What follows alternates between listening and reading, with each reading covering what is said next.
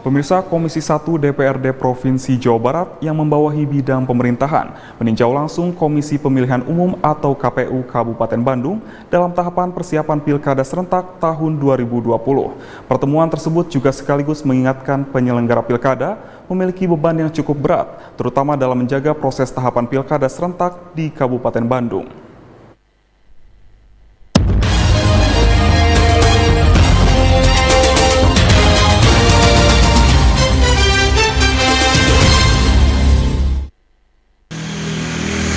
Komisi 1 DPRD Provinsi Jawa Barat yang membawahi bidang pemerintahan meninjau langsung Komisi Pemilihan Umum atau KPU Kabupaten Bandung dalam tahapan persiapan Pilkada serentak tahun 2020.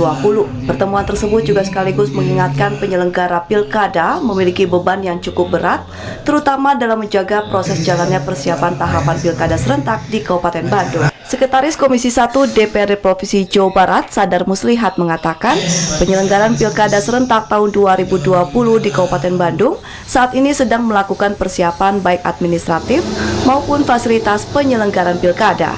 Nah, tiada lain kita ingin melihat kesiapan uh, kawan-kawan uh, KPU dan Bawaslu di Kabupaten Bandung, sekaligus juga mengingatkan betapa uh, pentingnya tugas mereka uh, dalam pemilu langsung ini.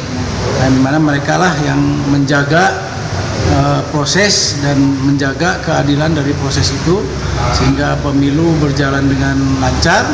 Sadar menambahkan masih adanya kendala-kendala yang dihadapi oleh KPU di kabupaten kota di Provinsi Jawa Barat dalam penyelenggaraan pilkada serentak tersebut. Salah satu kendala yang dihadapi di KPU Kabupaten Bandung yaitu adanya larangan honor bagi ASN yang dilibatkan di KPU-KPU Kabupaten Kota di Provinsi Jawa Barat. Selain itu, Sadar juga mengapresiasi infrastruktur gedung KPU di Kabupaten Bandung lebih memadai dibandingkan dengan KPU Kabupaten Kota lainnya yang cenderung tidak representatif.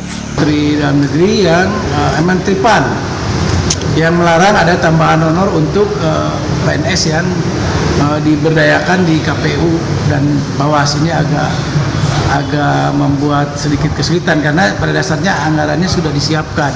Hmm. Hanya dengan aturan itu menjadi tiga boleh. Kemudian juga beberapa kalau Kabupaten Bandung tadi sudah cukup representatif uh, apa kantornya. Ya, beberapa kemarin kunjungan kita Depok, Sukabumi masih perlu apa perbaikan. 261 yang kabupaten uh, dengan satu dua Humas DPRD Provinsi Jawa Barat melaporkan.